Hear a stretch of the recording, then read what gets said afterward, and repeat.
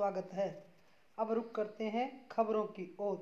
खानूवाली से सुनील पुरी की रिपोर्ट के अनुसार कीटनाशक के छिड़काव से पक्षियों की मौत।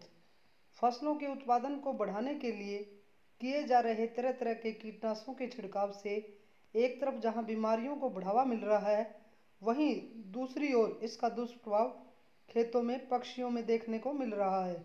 इन दिनों क्षेत्र खानोवाली के खेतों में बहुत से पक्षी मरे हुए मिल रहे हैं और कुछ मरने की कंगार पर है, क्योंकि खेत में गेहूँ की बिजाई के साथ साथ कीटनाशक दवाइयों का भी छिड़काव किया जाता है और पक्षी दाने चुगने के साथ साथ उस कीटनाशक को भी खा जाते हैं, जिसके कारण उनकी मृत्यु हो रही है।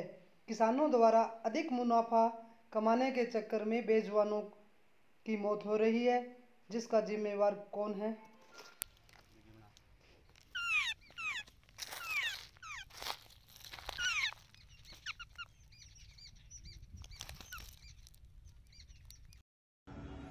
मैं Renu Sharma bike rider Anupgarh Jyoti channel को सपोर्ट करती हूँ। आप लोग अनूपगढ़ ज्योति चैनल को सब्सक्राइब करें, इसके वीडियोस पर लाइक और कमेंट करें और इसके वीडियोस को शेयर करें। धन्यवाद।